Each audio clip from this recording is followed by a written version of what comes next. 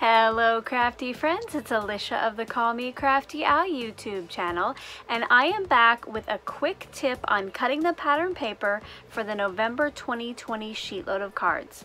I've had a few viewer questions so I hope this is going to help you out.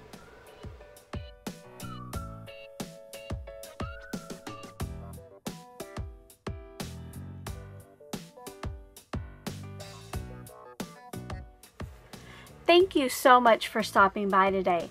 If this is your first time to my channel and you think you're going to be interested in downloading the November 2020 sheetload of cards, make sure to click on that subscribe button below and ring that bell for notifications. If you're already a subscriber and regular viewer, welcome back. I'm so glad that you're here again. Like I mentioned in the intro, I'm here with a little cutting help for the November 2020 sheetload of cards.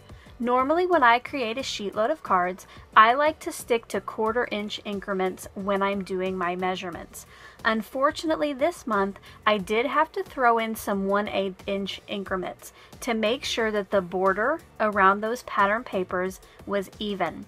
I've had a few emails and a few comments that people are a little bit confused about those measurements. So I thought I would stop by and just quickly show you how to cut these pieces. The pieces in question would be pattern paper A and pattern paper C. This one you cut to 1.125 inches wide, which is the same as 1 and an eighth. The bottom pattern paper is cut to 1.375 inches tall, which is the same as 1 and 3 eighths inches. To keep everything uniform on my printable, I did stick to decimals instead of fractions for my measurements, just because that's how it is every other month. So sorry for any confusion. I hope that if you didn't figure it out, you were one of those people who reached out. And if you haven't reached out yet and you had questions, this is the perfect video for you. Let's cut some paper. Since this is a great sheet load to use up scraps, if you don't have 6x6 paper, I just pulled out some scraps that I had close to me here on my desk. These were actually some papers that a subscriber sent to me that I mentioned that I really liked. The first piece that I'll show you how to cut will be pattern paper A. This piece is 1.125 or 1 and an eighth inch wide by 2 and 3 quarters inches tall. For my 1 and an eighth mark, you have the one inch mark and then you have the one and a quarter inch mark.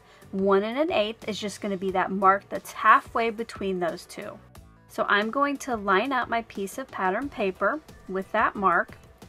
And because there's not really room for my fingers to hold it, I'm going to bring in just a scrap of Scotch Blue removable tape that I keep here to the side and tack that down. Once that's done, then I can rotate that and cut it to three and a quarter inches tall. And you'll see then, this is the same size as PPA on the sketch. For PPC, or the bottom piece, this is going to be three inches wide. And then it is one and three eighths, or 1.375 inches wide. So for this one, I'm going to place it halfway between the quarter and the half inch mark on the one inch spot.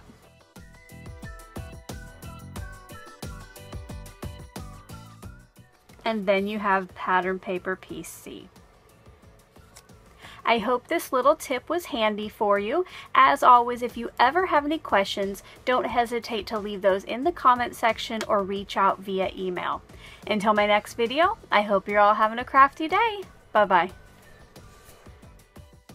Thank you so much for taking the time to watch all the way to the end of the video. Now I hope that you'll consider clicking on one of the playlists or videos I have linked above.